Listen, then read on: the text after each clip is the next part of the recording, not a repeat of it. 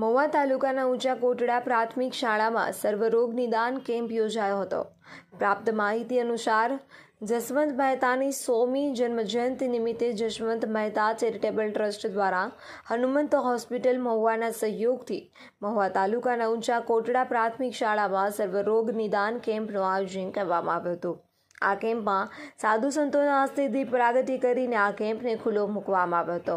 આ તકે ઉપસ્થિત કોંગ્રેસ પ્રદેશ ડેલિગેટ રાજભાઈ મહેતા, જનકભાઈ શિયાળ, અજીતભાઈ ભીલ, આસપાસના ગ્રામ્ય વિસ્તારના સરપંચશ્રીઓ અને આગેવાનો ઉપસ્થિત રહ્યા હતા. Bureau report, speed news seventeen Mahuva.